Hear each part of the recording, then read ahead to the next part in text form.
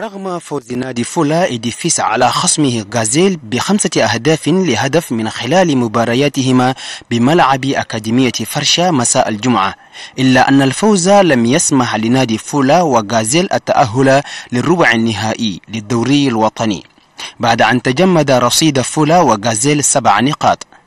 بعد أن تربع فريق أسكوتنشاد لمدينة أنجمينا بإحدى عشر نقاط ويليه نادي إليك إسبور بعشر نقاط. مما سمح للفريقين العبور مباشرة للربع النهائي. ده بأول شامبيون بيجي لنا ديديم شامبيون ناسيونال. نسبيري قدر تروازيم فوا أنا ثلاث مرات. نقدر أن نكون نسبيري نقدر أن نكون نغاني نبقى شامبيون.